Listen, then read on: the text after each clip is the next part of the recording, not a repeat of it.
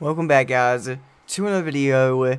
In this video I'm going to show you guys how to make casino chips and how to make a lot of it legitimately without gambling and just a very fast way to do this.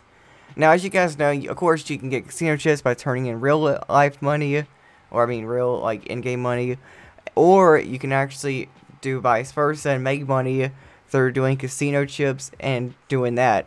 So let's just go ahead and begin with it. So the first thing you guys want to do is register as a CEO. So just go ahead and do that.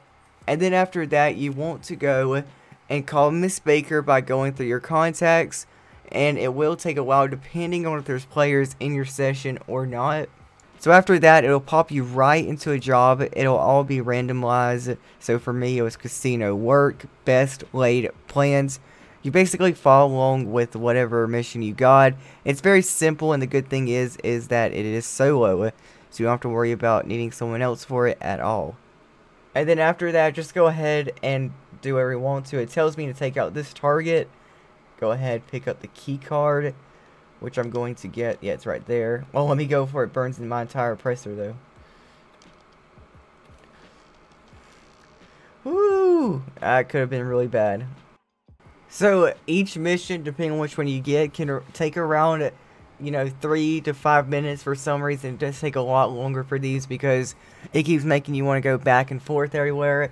So I recommend having something such as, of course, the Oppressor MK2 or a Hydra or something that could fly and also use missiles and just go ahead and make your way and just complete the mission. And there we go. So he made 5,000 chips as well as $7,500.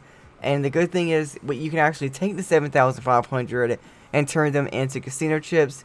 But I believe there is a limit, and this is where my computer froze for some reason. And yeah, so that's how you do it. It's how you make a ton of chips without having to worry about gambling at all. So you have to worry about losing it. You can just keep farming it this way. And yeah, so hopefully you guys liked the video. If you did, then like and subscribe for more videos like this. And with that being said, you guys have a great one. Stay safe out there, and goodbye.